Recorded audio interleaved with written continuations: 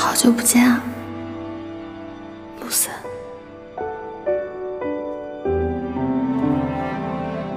不过还有一个问题，如果两个人的结局并不完美，那么这个灯会不会给人一种虚假的欺骗，让一个人久久的站在那里，走不出来？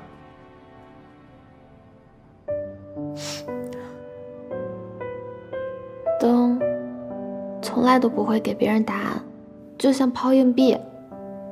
当你抱起这个灯的时候，你就有了选择。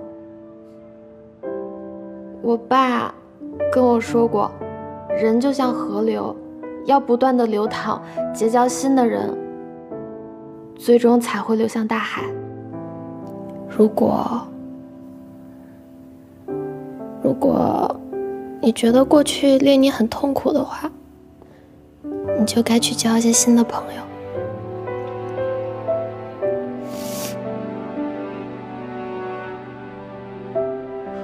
你怎么了？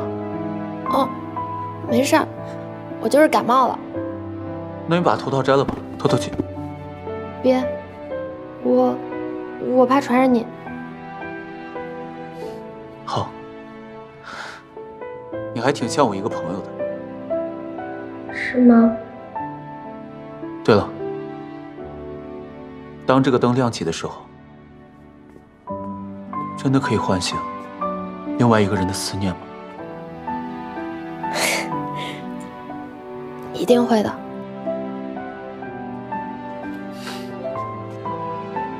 我来试试。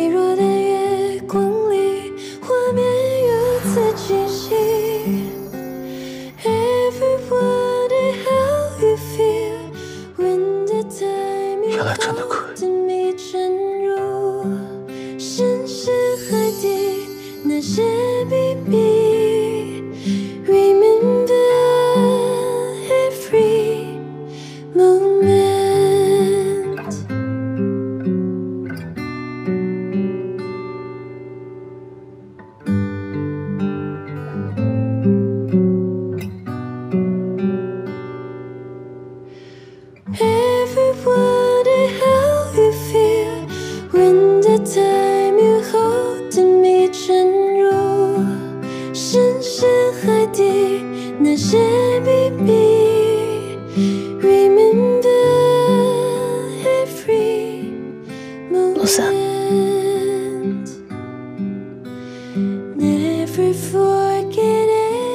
再见。